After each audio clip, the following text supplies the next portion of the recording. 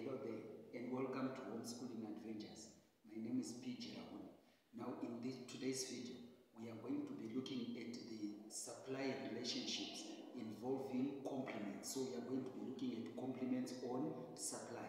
Now, what we need to understand is when we talk about a complement, a complement are those goods that are produced together at the same time.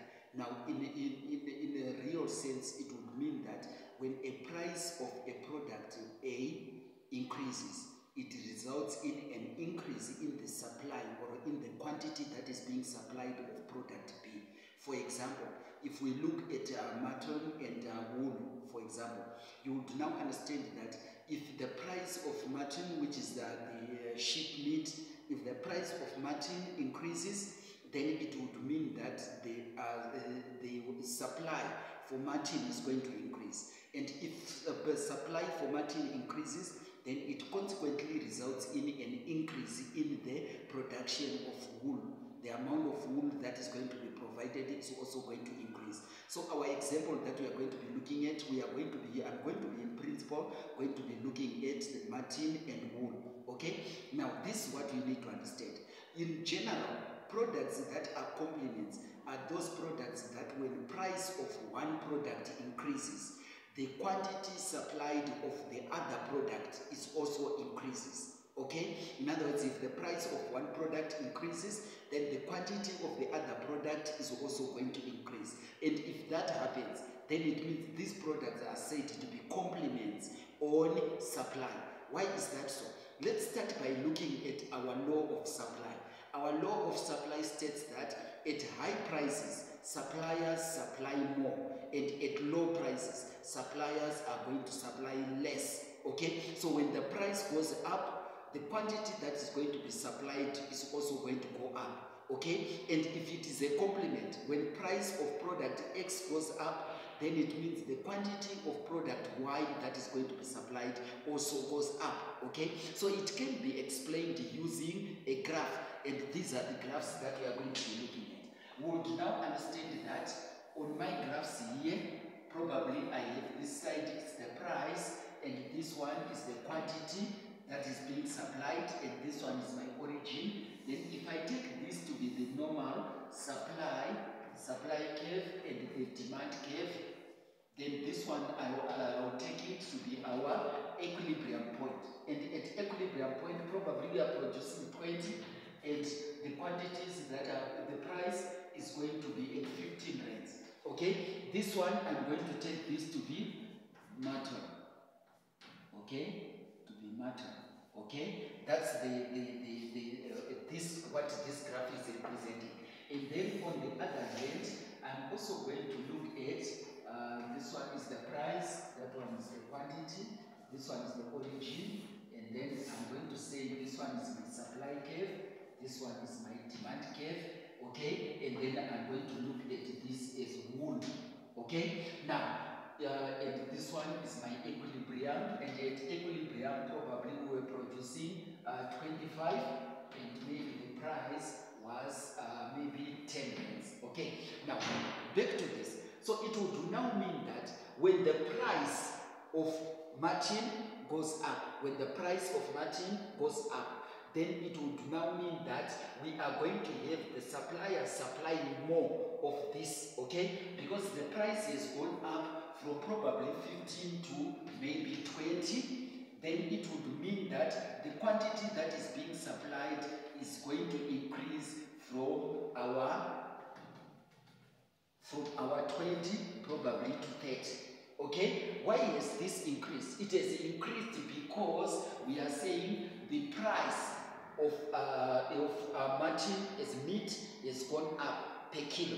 So because it has gone up then it means more farmers are going to produce more of those. More people are going to uh, keep more sheep so that they will be able to produce more mutton okay? And in the process they are also going to end up resulting in uh, an increase in the quantity that is being supplied. Now this is what will happen. If the price of mutton goes up then it means the quantity that is being supplied of wool is also going to go up because these products are taken to be sub, to be complements So it would mean that the supply of wool is also going to shift to the right. Okay, forming a new supply curve that I'm going to call S1. Okay, and at S1, this is what has happened. The price of wool has remained unchanged at 10 rands, but it would now mean that the quantity of wool that is going to be supplied now is going to increase to 40. Okay, so this is what happens when we are looking at an increase in price when sub when products are uh, complements on supply. If the price increases, then it means quantity that is going to be supplied of that particular product, in this case mutton, is going to increase. If that happens, then it means even the quantity of the complement is also going to increase, though the price of the complement has remained unchanged. And then the same thing can also happen that with the price of the mutton can go down. If the price of mutton goes down from 15 where it was originally, probably down to 10, okay, it would mean that the quantity that is going to be supplied, this is my supply curve, so the quantity that is going to be supplied is going to go down from a 20 to probably uh, 15, okay? If this happens, why has this happened? It has happened because when the price is reduced, it has reduced what the quantity that is being supplied. And if the quantity that is being supplied goes down, it would now mean that consequently, we are also going to have even the quantity of the complement also going down, which means the supply curve for the complement is going to shift to the, to the left, okay? Forming a new supply curve that I'm going to call S2. Forming a new supply curve S2. Now the price of the complement did not change. The price of the complement has remained at 10 rands. So, uh, uh, because the price has not changed, it would now mean that even we now realize that the quantity that is going to be supplied of the complement is going to go down from 25 probably to 10. Now, why is this so? It is because the price of the complement has gone down, so it means the quantity of the complement that we had in this context, wool, is also going to go down. So this is what happens, and this is what you now need to remember. When we are dealing with the complements on supply, when the price of one complement goes up, the quantity supplied of the other one goes up. Okay? When the price of one good goes down, then the quantity supplied of the other complement goes down. Okay? So this is what uh, characterizes complements. Okay? When the price increases, then it means the supply curve is going to shift to the right. When the price decreases, then the supply curve is going to shift to the to the left. Okay, so this is uh, how we deal with complements on supply. Okay, then we are now going to look at um, the complements or the substitutes on supply. Okay, now if it is a substitute, then what it would now mean is if it is a substitute, then it would mean that these are goods that are used to replace each other. In other words, when you talk about substitutes are learners, you do need to recall that substitutes are goods that replace each other. Okay? In other words, by producing this product, we are going to do it at the expense of the other. Now, this is what you need to remember. Remember, we have a problem of scarcity, which means we are not able to produce all products at the same time. It would now mean that we need to repurpose the resources from the production of product X and produce product Y. Okay, so what this is what would happen. Remember, our law of supply still states that at high prices, suppliers are going to supply more, and at low prices, suppliers are going to supply less. So that would now mean that if we are looking at suppliers, they are going to produce those products that give them the highest profit. Okay, this one is my demand curve, my supply, my supply, my demand, and this one is my equilibrium. And then at this equilibrium, probably it was 25, and probably the price was a 10. And then in this context, we have our demand, we have our supply, our demand, we have our supply there, equilibrium, and then at this point, maybe it was 25, and then we're producing at a price of 20. Now, when the price goes up, okay, and maybe an example of some, some uh, uh, such substitutes is probably we are looking at tea and coffee, okay, substitute on supply. We are looking at probably tea and coffee, or we are looking at maize and wheat, or maize and rice, okay, if we are going to use those on the same piece of land. So it would now mean that in this case, maybe we are looking at uh, tea and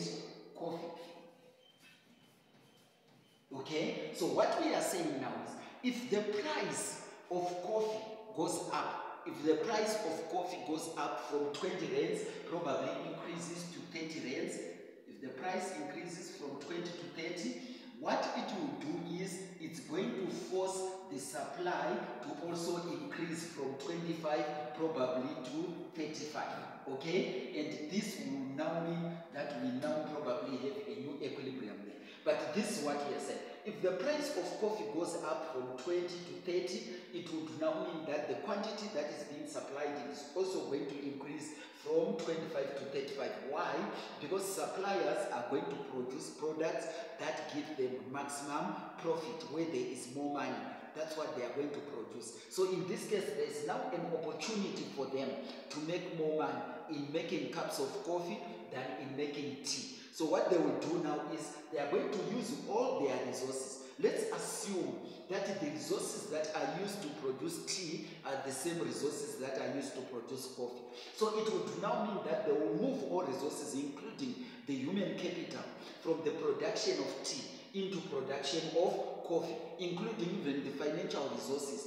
They will stop ordering tea bags and they will start ordering coffee, coffee, coffee beans so that they can be able to make coffee. So this is what we are saying. So they will divert resources from here to here because these products are competing for the same resources. So what it will do now is because there is an increase in the supply of coffee, it would now mean that the uh, supply for tea is going to end up shifting to the left, forming a new supply curve that we call S1. Okay? Now what is happened at S1? At S1, what has happened? The price of tea has remained unchanged at 10 rands, but they are now going to reduce on the quantity that is being supplied from a 25 probably to a 15. Okay? So this is what is going to happen. Because some of the resources, they are going to move them from the production of tea to the production of coffee. This is what happens when we talk about substitutes on supply or substitutes on production. Okay, so we have looked at uh, the relationship that exists between complements on supply and substitutes on supply. Now, what we need to understand, we need to remember that when we are talking about substitutes of supply, this happens when an increase in price of product X results in a decrease in the quantity that is produced for product Y. And if it is um, an, a decrease in price for product X, it will result in an increase in the quantity that is produced of product Y. Okay? So you need to understand now, like in this context, an increase in price from 20 to 30 on, uh, on uh, the, the coffee has resulted in a, an increase in the quantity of coffee that is being supplied, which consequently resulted in a decrease in the supply of the substitute product, which in this case is bags, is tea. Okay? Now, this happens when you are talking about when the price increases. Now, when the price reduces, then this is what will happen. It would mean that when the price reduces maybe from 20 to 10, then the quantity that is being supplied is going to reduce from our 25 probably to uh, uh, maybe 13. Okay? It will reduce from 25 to 13. Why? Because the price has reduced. It's no longer uh, profitable for suppliers to continue supplying that product. So what they will do is these resources that were available here, they are going to end up being channeled to the production of the alternative, where there is a possibility of making more money or maximizing profits. So what it would mean is we are saying here it reduces on quantity that is being produced of coffee, but those resources are going to be used to the increase on the supply of um, tea, okay? In this case, it will shift the supply curve to the right, uh, creating a new supply curve that we are going to call S2. Okay, now what has happened? The price of tea has remained unchanged, but because tea now is uh, giving them a possibility of making more money, it would now mean that they are going to increase on the quantity that supplying of the tea uh, from uh, the 25 probably to a 45. Okay, so this is what we now need to understand. Uh, this is generally the supply relationships for both complements and substitutes in a nutshell. All the best in your studies. Good luck. If you like the video, click the like button and remember to subscribe to the channel. All the best. I'm out.